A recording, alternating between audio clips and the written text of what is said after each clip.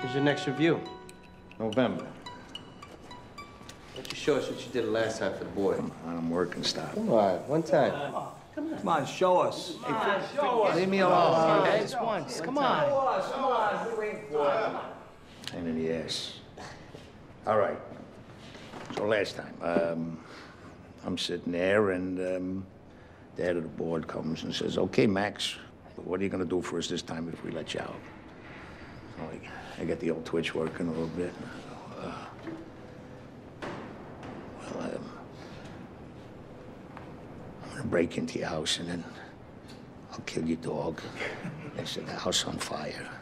Then I'll dance through your garden, naked, like some mad, crazed werewolf. And I'll bite and I'll mangle and I'll tear the tongue out of everything that's breathing.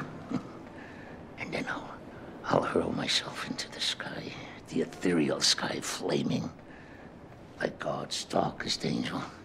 And I'll explode in, into a goddamn heavenly fireball. Boom. Boom! You guys want to see this? I, I can't wait. Boom. what?